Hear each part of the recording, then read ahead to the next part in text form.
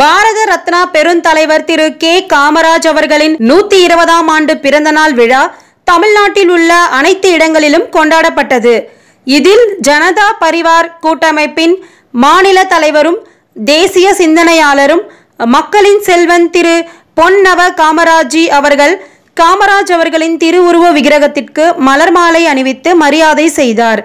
பெருந்தலைவர் திடல் பஜார் வீதி படப்பை அடுத்து ஜிஎஸ்டி ரோடு பெருங்கலத்தூர் மற்றும் பாரத மாதா தெரு பூண்டி பஜார் கிழக்கு தாம்பரம் ஆகிய மூன்று இடங்களிலும் மாநில தலைவரும் தேசிய சிந்தனையாளர் திரு. பொன் நவ காமராஜி அவர்கள் நேரில் சென்று திருவுருவ விக்கிரகத்திற்கு மாலை அணிவித்தார்.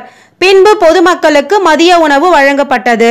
அவருடன் மாநில துணைத் தலைவர் திரு. எம். ஜி. ராஜாமணி ஐயர் மாநில செய்தி தொடர்பாளர் success TV Thiru U Sanjay Vivek Chengalpattu மாவட்ட தலைவர் திரு எஸ் பி குமரேசன் குன்றத்தூர் ஒன்றிய தலைவர் திரு எரையூர் கே மோகன் வழக்கறிஞர் திரு ஏ குப்புசாமி முன்னாள் கவுன்சிலர் திரு கோ சம்பத்குமார் காஞ்சிபுரம் மாவட்ட தலைவர் திரு எம் சண்முகம் முடிச்சூர் தலைவர் திரு என் கோவில்ராஜ் திரு டி சுந்தரம் ரெட்டியார் காட்டாங்குளத்தூர் ஒன்றியம் திரு எம் ஜார்ஜ் தாம்பரம் மாநகர பொறுப்பாளர் திரு ஏ கணேசன் மற்றும் மாவட்ட வட்ட நிர்வாகிகள் பொதுமக்கள் கலந்து கொண்டார்கள்.